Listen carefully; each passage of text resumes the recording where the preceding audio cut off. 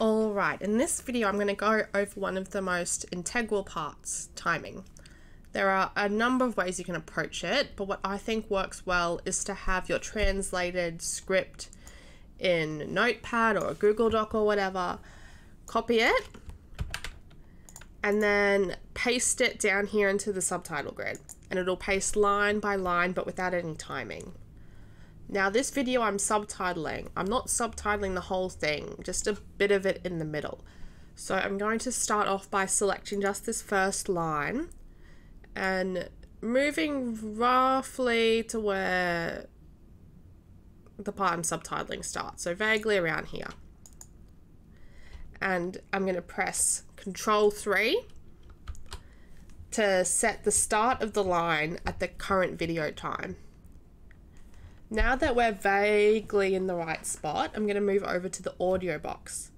This is where we're going to do the vast majority of our timing for this. And this is where getting used to the shortcuts is going to make your life a lot easier.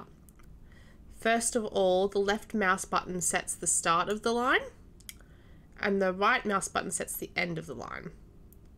The next important set of shortcuts are all close together on your keyboard the most important of these, in my opinion, are D and G. D will play the last 500 milliseconds, so half a second of the line. This will help you quickly tell if a line is timed correctly without having to listen to the whole thing over and over. And the other important shortcut is G, or Enter also works which accepts any changes you've made to the timing of a line and then automatically moves to the next line, setting it to start after the last one. I also often use S, which plays the whole line, and W, which plays um, 500 milliseconds after the line. I'll post a reference with all these shortcuts in the description. Try them out and see what works best for you. So let's start. First of all, so you don't end up endlessly typing D into your edit box, click here just to make sure the shortcuts are working there. Now I'm going to just play the whole line to get an idea of where I am.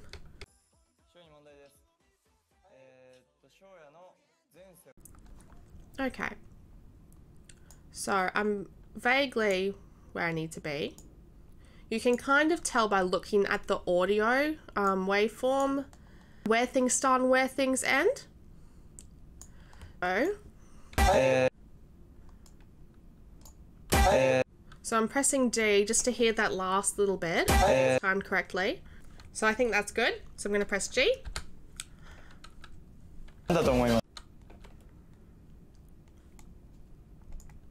And once you get into the swing of it, you can kind of just quickly go through just listening to the last little bit of each line. So there's a bit of a gap between what Junki says here and what Shoya says. What you do in this sort of situation is up to you, but I'm going to do it so it's kind even though there's a bit of a gap, I'm gonna set it just before what Shoya says, which I'm assuming is around here. Let's have a listen. So it's around here. G? Hi. Hi. Call me. Me. there we go. All right. And then there is a bit of a gap. So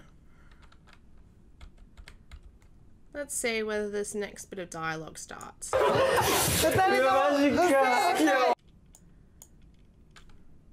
Here we are.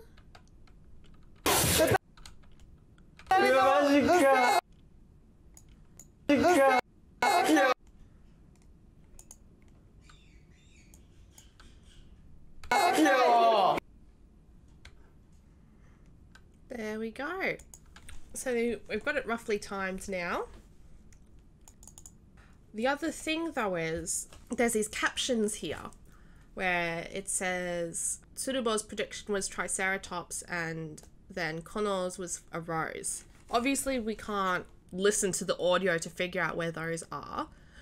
We have to just do it based on what we see. So you can press the left and right arrow keys to go frame by frame. So what I'm going to do is find the first frame where these appear. There we go. And what you can do is right click and go insert at video time after. And it's going to set a line that's at the video time. And we'll scroll through to find the where these finish and then we can hit control 4 all right now we've got this line here we can type in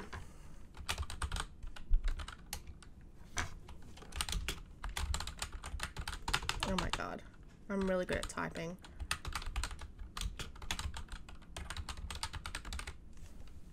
sweet and since the timing is the same for this other bit, you can right click, duplicate, and just change the text.